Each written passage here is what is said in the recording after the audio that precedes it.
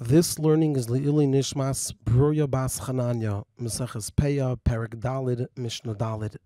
Peah, Peah, Ein Kaitzrin Oisa B'Magalis, it may not be reaped, it may not be harvested with sickles, The Ein Oikrin Oisa and it may not be dug up with spades. And the reason for this is Kadesh Yaku Ish Esre'eu, so that one person doesn't strike the other person with one of these tools, whether by mistake or on purpose while they are competing for the payoff.